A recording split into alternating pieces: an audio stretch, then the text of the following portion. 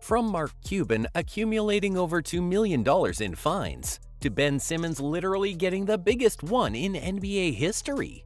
Here are the biggest fines in NBA history that cost teams a fortune. Starting off with Joe Dumars. Back in 2010, Adrian Wojnarowski, also known as Woj, dropped a massive bomb on Detroit Pistons GM Joe Dumars. How massive? Try $500,000 big. Here's what went down.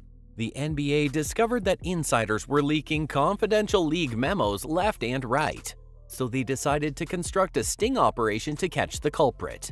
They sent out slightly different memos to each team and waited to see which version would end up in the press. And wouldn't you know it, Dumars got caught red-handed. He was leaking info to Woj in exchange for some favorable coverage of himself and the Pistons.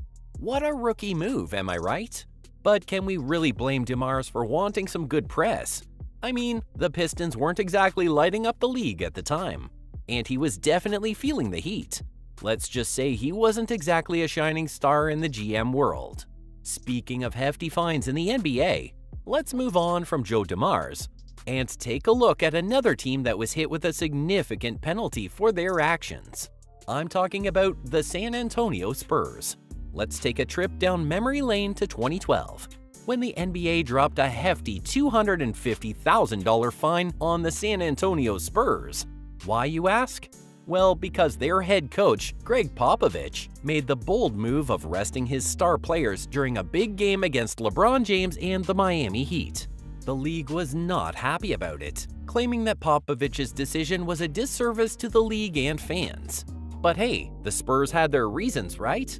I mean, they were one of the biggest teams in the Western Conference, and probably wanted to conserve their energy for the playoffs.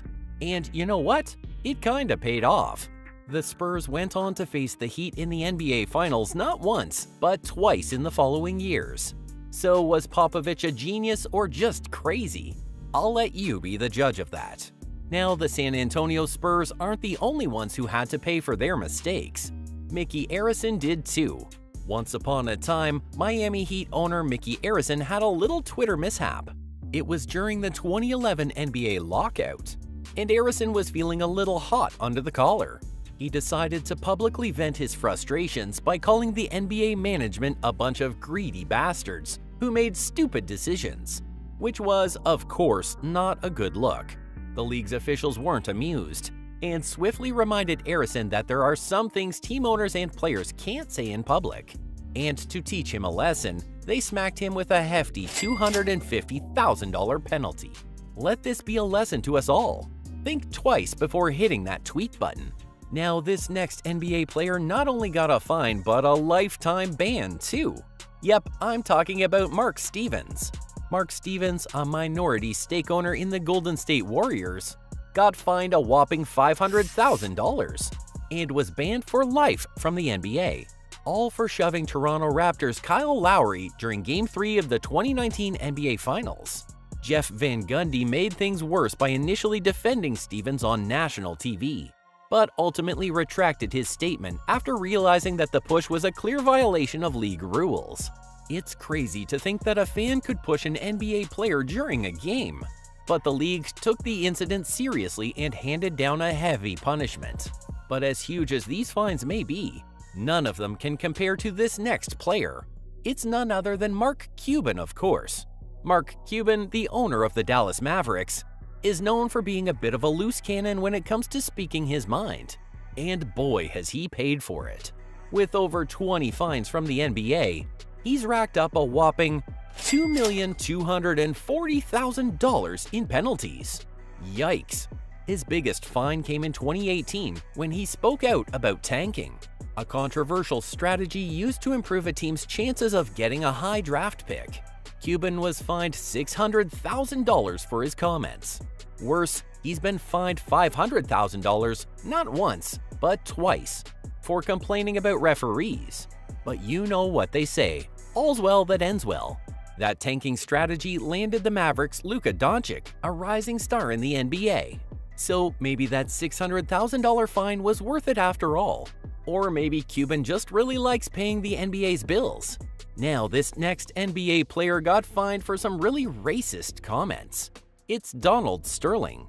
Let me tell you a story about a guy who learned the hard way that being racist is not cool, especially if you own an NBA team.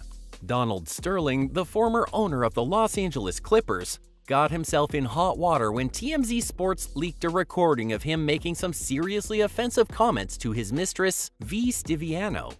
Honey, I'm sorry. I'm sorry too. I wish I can change the skin, the color of my skin. That isn't the issue. You missed the issue. What's the issue? The issue is we don't have to broadcast it. I'm not broadcasting anything. Sterling was recorded saying stuff like, It bothers me a lot that you want to broadcast that you're associating with black people. And the little I ask you is not to bring them to my games.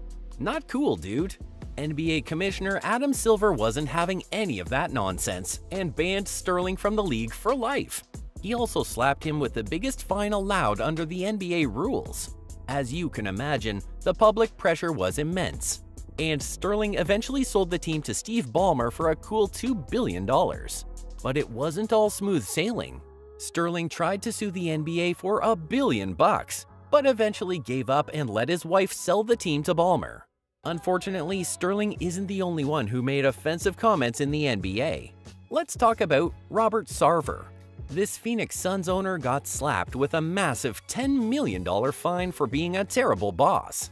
Apparently, he created a poisonous work environment, threw around racist insults, and treated his female and minority employees like garbage.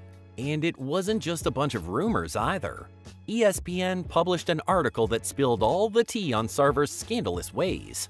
Some of the messed up things he did include making inappropriate comments about his employees' appearances, and even telling a coach to fire a minority agent. Yikes! The NBA didn't take kindly to Sarver's actions, and after an independent investigation, they hit him with the heaviest single fine in league history. They also suspended him for a year, but that's not even the end of the story.